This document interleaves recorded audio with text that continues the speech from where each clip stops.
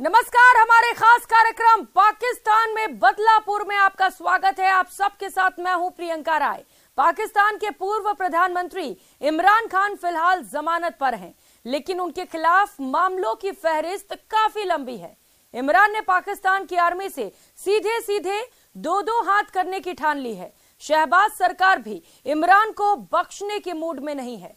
तो ऐसे में इमरान का क्या होगा? पाकिस्तान का इतिहास बताता है कि जिसने आर्मी से बिगाड़ी तो उसके दिन गिने चुने ही रह जाते हैं। तो क्या अब आर्मी और वहाँ की शहबाज सरकार इमरान को चैन से रहने देंगे या उनका भी गेम ओवर कर देंगे?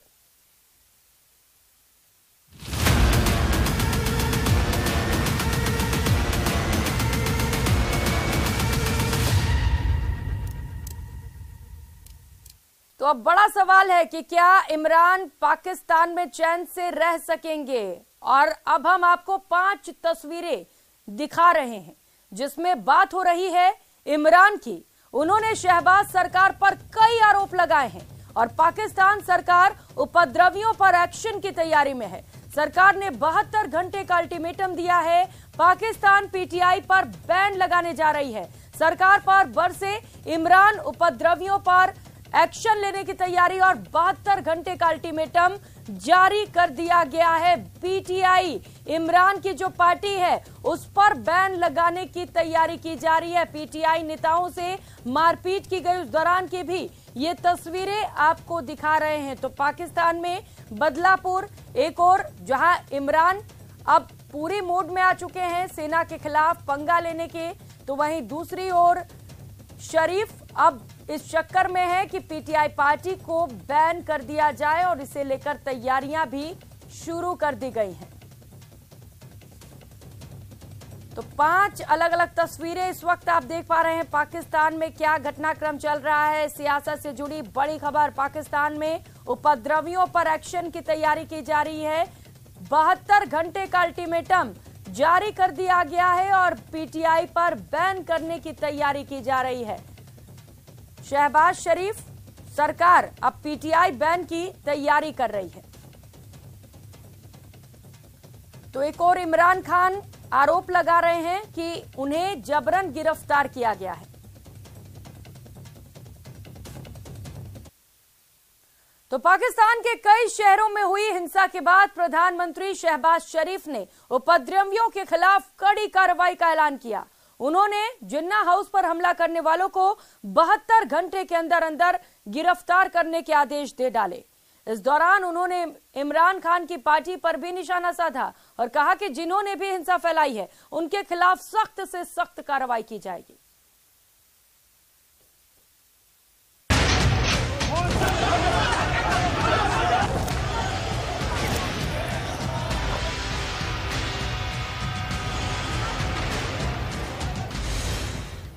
शहबाज शरीफ का अधिकारियों को अल्टीमेटम।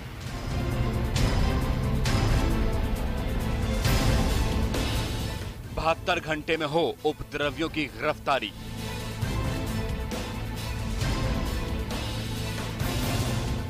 शहबाज ने इमरान समर्थकों को बताया आतंकी।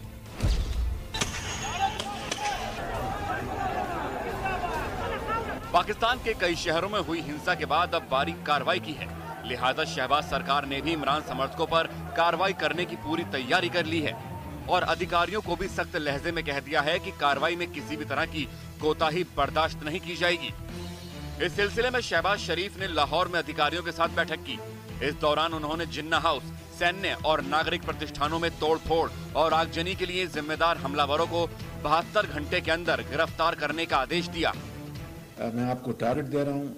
अगले बहत्तर घंटों में तमाम कल्प्रेट्स प्लानर्स इंस्टिगेटर्स और हमलावर गिरफ़्तार होने चाहिए जुर्म और उनके खिलाफ कानून के मुताबिक केसेस दर्ज हों।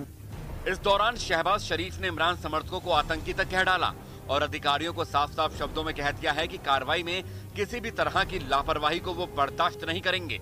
उसके ऊपर बड़ी तफसील के साथ हदायत जारी की थी कि जो भी इसके मनसूबाबंदी में शामिल है, जिन्होंने इश्तियाल अंगेजी दिलाई, जिन्होंने इसमें जो अबेटमेंट के जिम्मेदार बने, जिन्होंने मदद की, जिन्होंने इस मामले को, आग को बढ़ा, भड़काने में पूरा हिस्सा डाला, और जो हमलावर हुए, वो चुन चुन कर कोई अगर किसी ने खाना पूरी करने की कोशिश की तो वो नाकाबिल बर्दाश्त है वहीं दूसरी तरफ़ जिन्ना हाउस में हुई तोड़फोड़ और आगजनी की जाँच का जिम्मा जीआईटी को सौंप दिया गया है। इस्लामाबाद हाईकोर्ट ने इमरान खान की गिरफ्तारी के बाद इमरान खान की पार्टी के समर्थकों ने पाकिस्तान के कई शहरों में हिंसक प्रदर्शन किया था। हिंसा के दौरान ही पीटीआई समर्थकों ने कोर कमांड ऑफ़िस और जिन्ना हाउस पर भी हमला कर दिया था। वहाँ तोड़फोड़ और आगजनी भी की गई थी। पूरे पाकिस्तान में ये हिंसा तीन दिनों तक चली। पेशावर की सड़कों पर सरेआम फायरिंग हुई। इमरान समर्थक और पाकिस्तान रेंजर्स के जवान आमने सामने भी आ गए थे। सिर्फ़ पेशावर ही नहीं, कराची, लाहौर, इस्लामाबाद, खैबर पख्तूनख्वा समेत कई इलाकों में उपद्रवियों ने उत्पात मचाया था। हिंसा को देखते हुए पाकिस्तान सरकार को भी ये कहना पड़ा था कि इमरान के समर्थक में सड़कों पर आतंकी उतर आए हैं और पाकिस्तान में इमरजेंसी लगने की भी खबरें सामने आ रही थी। लेकिन हालात संभलते ही उन अटकलों पर विराम लग गया और जैसे ही हालात नियंत्रण में आए, वैसे ही अब शहबाज सरकार ने उपद्रवियों के खिलाफ कड़ी कार्रवाई की चेतावनी दे डाली। और अब ये देखना दिलचस्प होगा कि पाकिस्तान के अधिकारी अपने प्रधानमंत्री के आदेश पर कितना अमल कर पाते हैं और बहत्तर घंटे के अंदर उपद्रवियों के खिलाफ कोई बड़ी कार्रवाई होगी या फिर पाकिस्तान में एक बार फिर नया बवाल देखने को मिलेगा।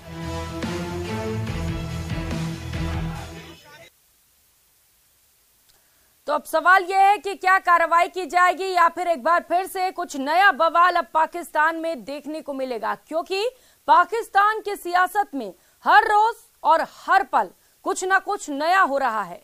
शहबाज शरीफ और इमरान खान के बीच तकरार जारी है और इसी बीच इमरान ने अब जनता से मदद मांग ली है। और आंदोलन करने की अपील की गई है।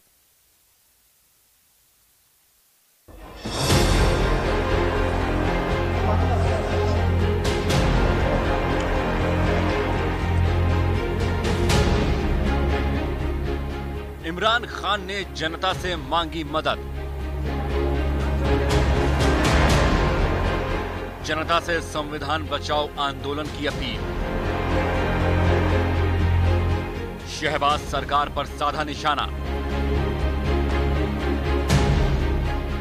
पाकिस्तान के पूर्व प्रधानमंत्री इमरान खान की मुसीबतें कम होती नहीं दिख रही हैं। एक तरफ़ इमरान खुद संकट में घिरे हैं तो दूसरी तरफ़ उनकी पार्टी पर भी खतरा मंडरा रहा है।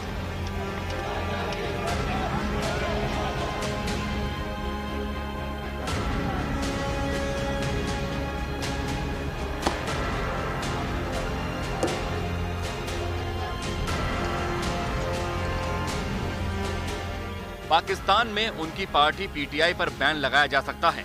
इस सब के बीच इमरान ने अब पाकिस्तान की जनता से मदद की अपील की है।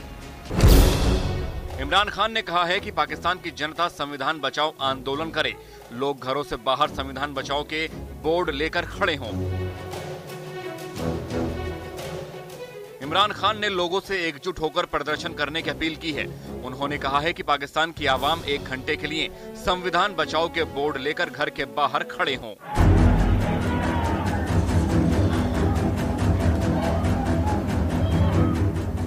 इमरान खान को भले ही कोर्ट से राहत मिल चुकी है और वो जेल से बाहर भी हैं, लेकिन मुसीबतें उनका पीछा छोड़ती नहीं दिख रही हैं। लिहाजा वो खुद को और अपनी पार्टी को बचाने के लिए नई नई प्लानिंग कर रहे हैं। तो शहबाज सरकार को भी कोसने से पीछे नहीं हटते।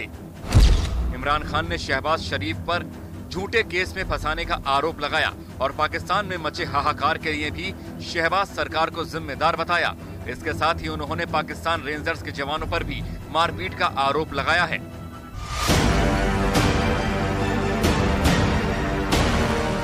पाकिस्तान में अभी जो हालात बने हुए हैं, उससे तो यही लगता है कि इमरान खान को फिर से किसी न किसी बहाने गिरफ़्तार किया जा सकता है। उनकी हर गतिविधि पर सरकार की पैनी नज़र है। तो इमरान के समर्थक और कार्यकर्ता भी हर हालात से निपटने के लिए तैयार बैठे हैं। सिर्फ़ पाकिस्तान की सरकार ही नहीं, पाकिस्तान की सेना भी इमरान खान के निशाने पर है। इमरान खान ने कहा है कि पाकिस्तान में तानाशाही के हालात हैं और एक बार फिर से 1971 जैसे हालात बनते दिख रहे हैं। इमरान खान पाकिस्तान के लोगों से हकीकी आज़ादी और पाकिस्तान को बचाने के लिए आगे आने की अपील कर रहे हैं। तो शहबाज सरकार भी इमरान खान के समर्थकों के खिलाफ कार्रवाई के लिए तैयार है। यानी ये साफ़ है कि पाकिस्तान में इमरान खान और शहबाज शरीफ के बीच जारी तकरार जल्द खत्म होती नहीं दिख रही है। इमरान खान और शरीफ के बीच जो तकरार जारी है, वो जल्द खत्म होती हुई नज़र नहीं आ रही है। वहीं इमरान खान ने शहबाज सरकार पर बदला लेने का आरोप लगा दिया है। उन्होंने कहा कि पुलिस ने उनके साथ बदतमीजी की है। ये रिपोर्ट देखिए।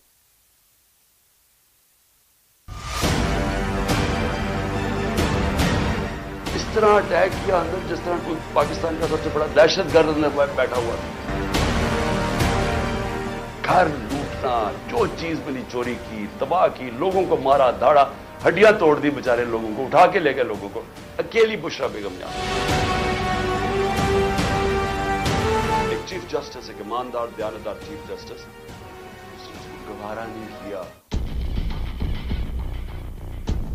ये सारी बातें और दावे पाकिस्तान के पूर्व प्रधानमंत्री और वहाँ की सबसे बड़ी पार्टी के नेता इमरान खान के हैं, जिनकी गिरफ्तारी के बाद तीन दिन तक पाकिस्तान के कई शहर जलते रहे। हालात ऐसे हो गए कि एक तरफ़ इमरान समर्थक शहर दर शहर बवाल मचा रहे थे, जमकर तोड़फोड़ कर रहे थे तो दूसरी ओर सेना इमरान के करीबियों को गिरफ़्तार कर रही थी। दावा है कि इमरान खान के घर पर भी सेना ने तोड़फोड़ की। इसी बीच कल इमरान खान ने पाकिस्तान की जनता को संबोधित किया। इस दौरान इमरान खान शहबाज सरकार पर जमकर बरसे। उन्होंने आरोप लगाया कि हाई कोर्ट से बेल मिलने के बाद भी मुझे गिरफ़्तार करने की कोशिश की गई। आज पाकिस्तान में न्यायपालिका ही लोकतंत्र को बचा रही है। पूरे देश को संविधान और कानून की सर्वोच्चता के लिए स्वतंत्र न्यायपालिका के साथ खड़ा होना होगा। जिस मुल्क के अंदर इंसाफ नहीं होता, वहीं आज़ादी नहीं होती है। अमेरिका में, इंग्लैंड में, यूरोप में, पराए मुल्क हैं। उनको इस मुल्क से ज़्यादा आज़ादी है। वहाँ वो ज़्यादा आज़ाद हैं, क्योंकि वहाँ रूल ऑफ़ लॉ है। उनके हकूक की हिफाजत करते हैं वहाँ के कानून और उनकी अदलिया। वो आज़ाद लोग हैं, इसलिए वो बोल रहे हैं। यहाँ इन्होंने इतना खौफ और हिरासा फैला के, डरा के डंडे मार मार के लोगों को समझ रहे कि कंट्रोल कर लेंगे।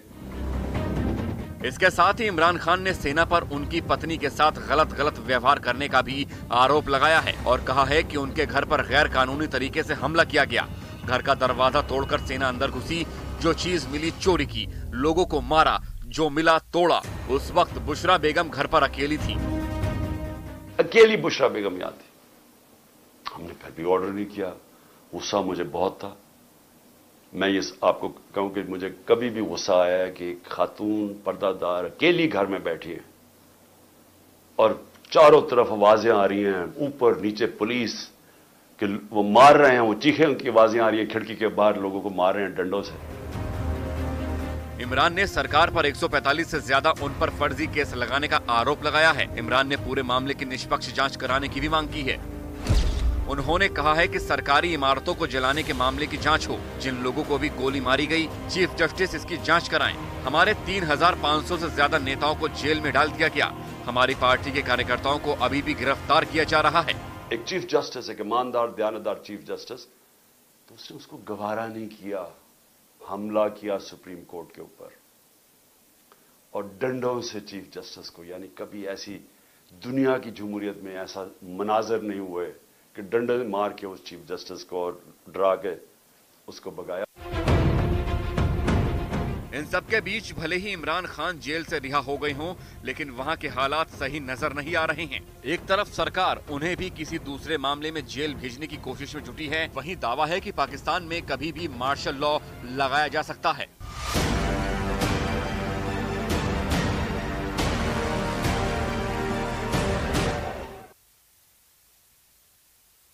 तो पाकिस्तान में स्थिति ठीक नहीं है। कहा जा रहा है कि वहाँ पर कभी भी मार्शल लॉ लगाया जा सकता है। पाकिस्तान के हालात बद से बदतर ही होते जा रहे हैं। ये खास रिपोर्ट देखिए।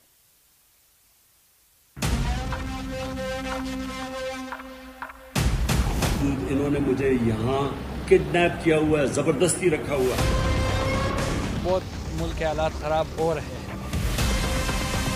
गरीब आदमी ने क्या गुजारा करना है? जी पेट्रोल महँगा हो गया। गरीबों को कोई ऐसा रोज़गार का मौका दें ताकि गरीब तो ना अपनी इस चक्की में पीसा जाए। जो बंदूक उठा के आज खड़ा है अगर उसको रिलीफ मिलेगा तो इस ये मुल्क सिर्फ़ जलेगा और कुछ मजमून है ये नए पाकिस्तान का। उस पाकिस्तान का जहाँ सियासी साजिशों के दरिया में आवाम का हक डुबोया जा रहा है उसे लूटा खसोटा जा रहा है।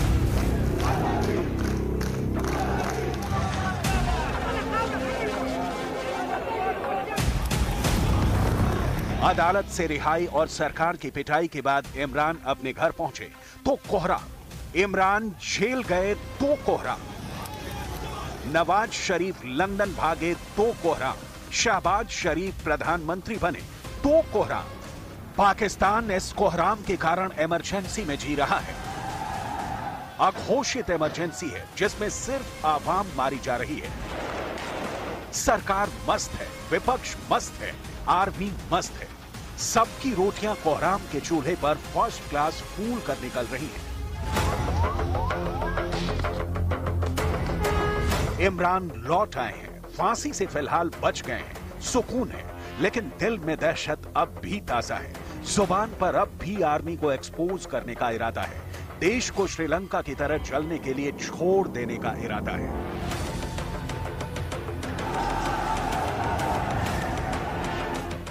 Warned about this several times before that look, as long as we do political rallies, they're all within the constitution, they're peaceful.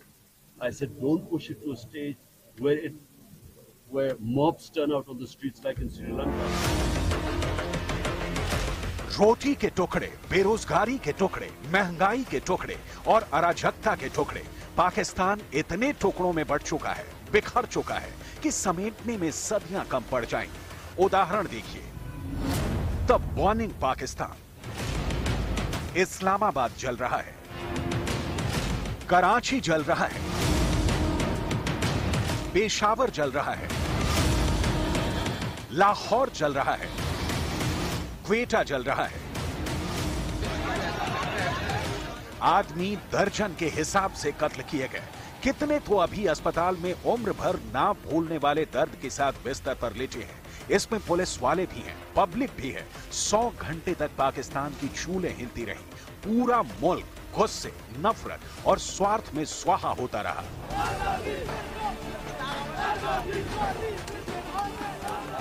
सरकार को अदालत पर भरोसा नहीं।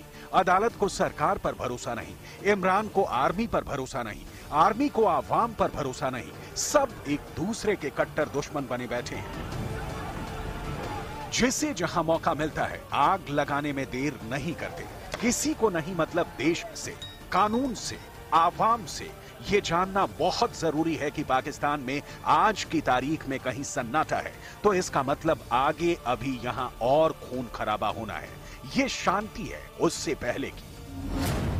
कोहराम से पहले की शांति। इमरान खान को सिर्फ़ 15 मई तक गिरफ़्तार नहीं करने पर रोक लगी है। अदालत ने सिर्फ़ दो हफ़्ते के लिए ही जमानत दी है। इमरान खान के खिलाफ 90 केस दर्ज हैं। लिहाजा आशंका के बादल छंटे नहीं है कि इमरान दोबारा गिरफ़्तार नहीं होंगे। शाहबाज की सरकार अदालत के फैसले को नक्कार खाने की तूती बता रही है।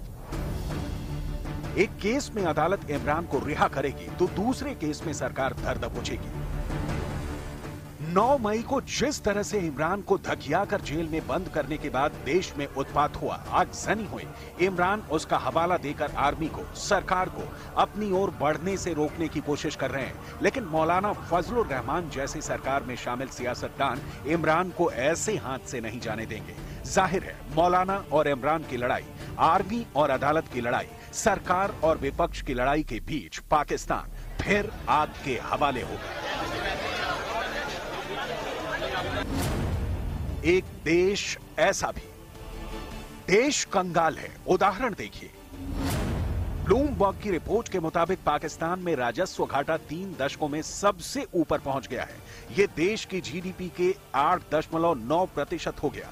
पाकिस्तान को अंतर्राष्ट्रीय मुद्रा कोष यानी आईएमएफ से कर्ज चाहिए तो उसे अपना राजस्व घाटा तत्काल कम करना होगा, वरना लोन रुक जाएगा। अभी तो पाकिस्तान के वित्त मंत्री दावा कर रहे हैं कि सरकार ने तीन दशमलव सात अरब लोन मई और जून में चुकाने जा रही है। चीन से भी दो दशमलव चार अरब डॉलर का कर्ज मिलने जा रहा है। लेकिन ये दावे उस देश में किए जाते हैं जहाँ कोई भविष्य देखता हो। पाकिस्तान में आज की हालत यह है कि कब्रिस्तानों में तख्तियाँ लटकी हैं कि कब्र खुदवाने का पैसा ना हो तो इस नंबर पर संपर्क करें। कफन का पैसा ना हो तो फला नंबर पर संपर्क करें। अंदर से बिल्कुल खोखला हो चुका है पाकिस्तान। श्रीलंका बनने में बस थोड़ी देर हो रही है। चिंगारी जल रही शोला कभी भी बरस सकती है।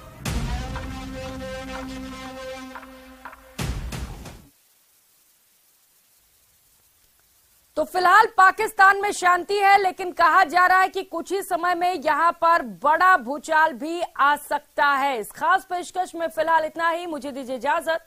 नमस्कार।